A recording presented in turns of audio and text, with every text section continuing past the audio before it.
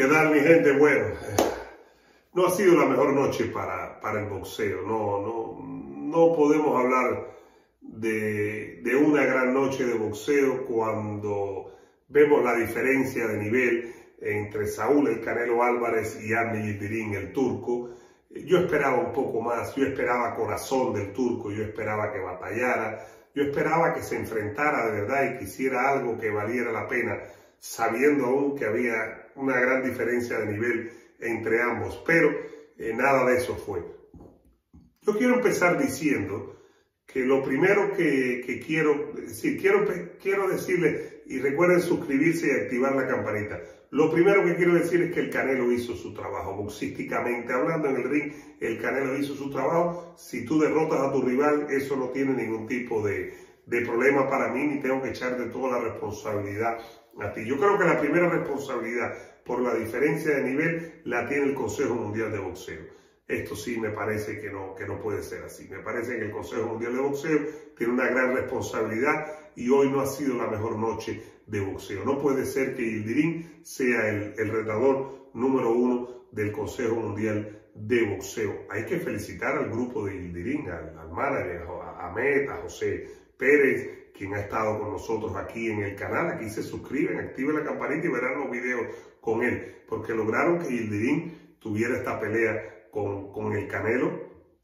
y, y, y, ganar la bolsa de su vida. Eso hay que felicitarlo también. Pero creo que es una noche pésima para el boxeo. No es la mejor noche. Creo que es una noche que duele para el boxeo. Es una noche en la que yo me sentí bastante decepcionado porque había mucho, mucha diferencia de, nivel. Y recuerden, yo les he dicho todos estos días y por varias semanas que no tengo ningún problema con el Canelo peleando con alguien como Yildirim eh, si va a pelear con Carlos Smith, después con Billy Joe que ya es oficial para el 8 de mayo, y después casi seguro también con Caleb Plant en septiembre, el fin de semana de las festividades de, de México. Pero era demasiada la diferencia de nivel, no puede ser. Y es que Canelo está en otro nivel, pero la diferencia de nivel con Gildirín era demasiado. Gildirín no puede ser un retador número uno del Consejo Mundial de Boxeo, del, del cinturón verde. Gildirín pudo haber ganado sin tener nivel hoy eh, el cinturón más preciado para los boxeadores mayormente, que es el verde del Consejo Mundial de Boxeo. Gilles no puede ser un retador número uno de, de, de, de ningún peso en el Consejo Mundial de Boxeo. Con todo respeto para Gilles evidentemente no es lo mismo hablar del diablo que verlo venir, ¿no? Que estar ahí eh, cuando viene y te da, te afloja, te mata, te liquida y entonces no sabe qué hacer pero creo que, que, Gildirín, no merecía estar aquí y ha sido una noche para mí vergonzosa, no ha sido la mejor de las noches.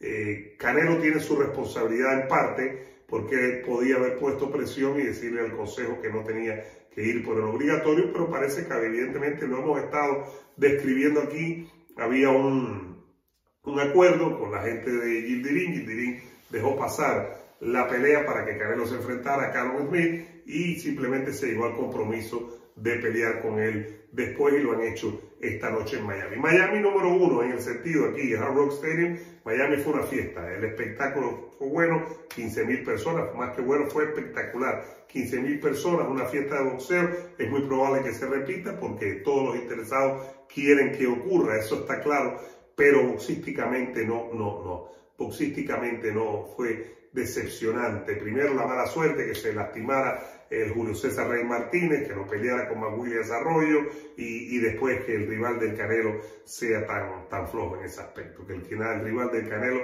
no haya mostrado el nivel que, que, mínimo que se necesita para ir por un título mundial. Eso es eh, también decepcionante. No estoy diciendo que la culpa es de Yildirim, ni mucho menos.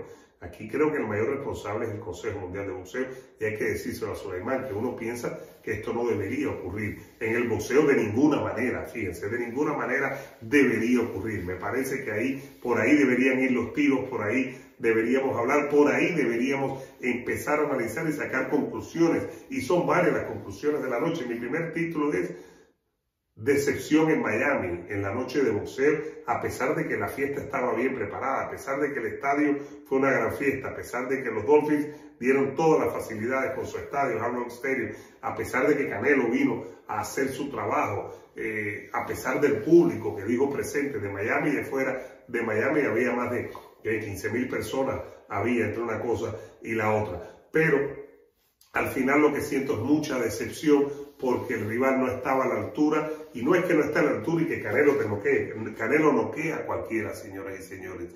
Tengamos eso claro. Canelo noquea a cualquiera. Canelo para mí es el número uno libra por libra. Pero este rival no, no estuvo a la altura. Había, hay mucha diferencia de nivel, demasiada diferencia de nivel entre Saúl el Canelo Álvarez y Arne Giderín para que estén en el mismo ring peleando por dos títulos mundiales. Eso es demasiado y eso no se debería permitir bajo ningún concepto. Esa es mi conclusión y ese es el, dolor que tengo en esta, en esta velada boxística aquí en el Hard Rock Stadium, en el estadio de, de mis Miami Dolphins, al encontrarnos con esto. Eso es lo más doloroso de todo. No debía haber subido nunca a un ring de boxeo a Mildirín para enfrentarse a Saúl el Canelo Álvarez. Y es cierto que el Canelo es muy dominante, que es mejor que sus rivales, que les pasa por encima. Ya vimos lo que le hizo a Carlos Smith en diciembre pasado, pero Yildirim ni siquiera pudo salir para el cuarto asalto. Es decir, Yildirim no, no tuvo con qué, con qué enfrentarse, no tuvo con qué hacerle eh,